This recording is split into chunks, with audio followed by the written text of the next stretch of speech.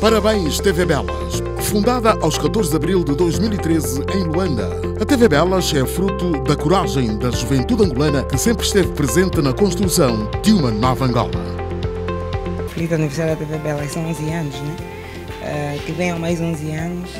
É, estamos aqui. TV Belas, juntos criamos a nossa história.